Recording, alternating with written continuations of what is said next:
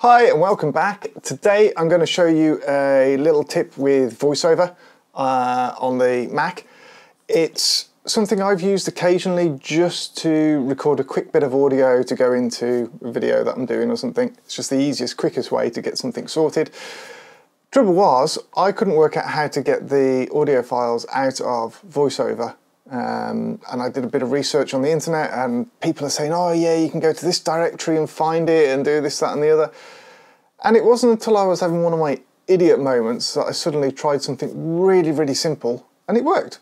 So, this tip is for you if you've been searching for an easy way to get that out. I'm going to show you now. So, if we go over to VoiceOver here, we've got our little test piece.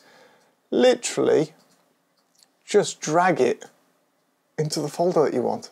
And there it is, M4A perfect. Nowhere told me that. I had to go and figure it out just for trial and error, but I couldn't find any help anyway. It's probably so simple they don't think anyone needs to know. Obviously, I did.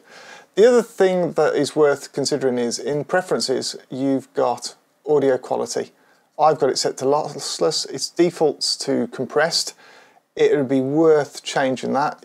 You can change off the location based naming as well if you want it would be worth changing that to lossless so that you can use it properly um, without any degradation in your audio stream.